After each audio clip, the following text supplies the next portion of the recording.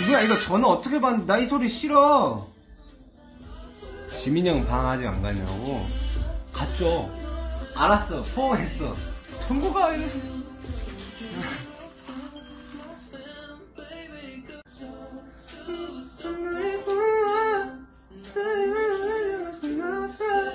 아니 내가 정말로 소중하게 생각하는 뭐라고 잠시만 나 이거 댓글을 못 읽었네 5초만이라도 오빠가 내 여자친구 될 수 있을까?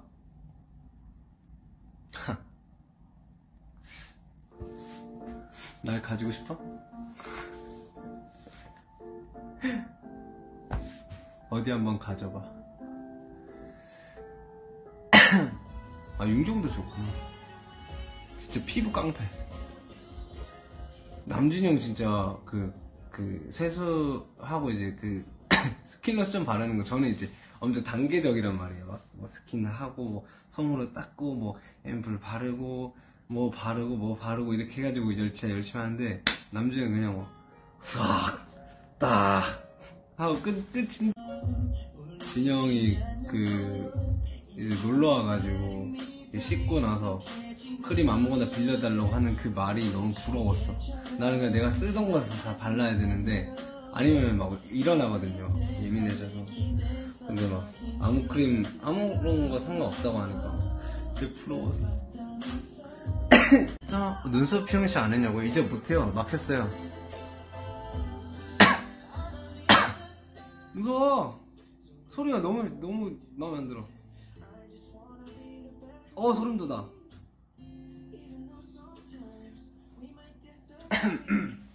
아휴. 방 PD님이랑 멤버들이랑 저녁 식사 하고 들어왔는데 약간 졸린 거예요. 졸렸는데 어, 이 브이라이브가 하고 싶더라고. 원래 이제 격리하고 있을 때 하고 싶었는데 못 해가지고 많이 아쉬워했었는데 무대에서 뭐 별거 안 하는데 와 확실히 그 멋이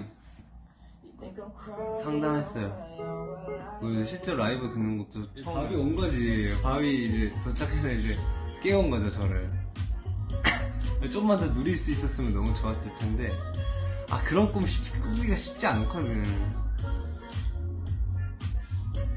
세, 번, 세 번째가 진짜 대박인 게 보통 꿈을 꾸고 그, 그걸 꿈이라고 인식을 하면은 깨 꿈에서 깨버려 꿈이란 거 알고 있기 때문에 서서히 서서히 깨요 왜냐면 내가 이미 그걸 자각하고 있기 때문에 깨는데 세 번째 꿈이 왜 대박이었냐면 불러드려서 너무 죄송해요 괜찮으실 때 노래 좀 새로운 것들 몇 개 이렇게 좀 살짝 연습해가지고 들어올게요. 안녕. Good night, good morning. Bye.